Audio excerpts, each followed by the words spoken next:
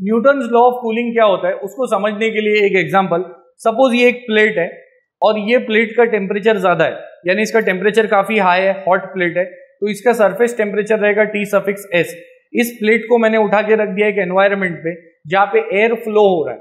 तो एयर का जो टेम्परेचर रहेगा, वो रहेगा fluid temperature T suffix F अब जितना टेम्परेचर डिफरेंस ज़्यादा रहेगा मतलब प्लेट का टेम्परेचर जितना ज़्यादा, और फ्लोइंग एयर का टेम्परेचर जितना कम तो हीट ट्रांसफ़र उतना फास्ट हो जाएगा। और न्यूटन लॉ ऑफ़ कूलिंग क्या बोलता है? कि heat transfer rate directly proportional होता है टेम्परेचर डिफरेंस से सरफेस के और फ्लूड के। और वो डायरेक्टली प्रोपोर्शनल होता है सरफेस एरिया से। यानी ये प्लेट का एरिया जितना बड़ा रहेगा, उतना ज़्यादा हीट ट्रांसफ़र एरिया जितना छोटा रहेगा, उतना कम हीट ट्रांसफ़र और वो डिपेंड करता है स्मॉल वैल्यू पे, यानी coefficient of convective heat transfer coefficient यानी वो एयर का कोइफिशिएंट है।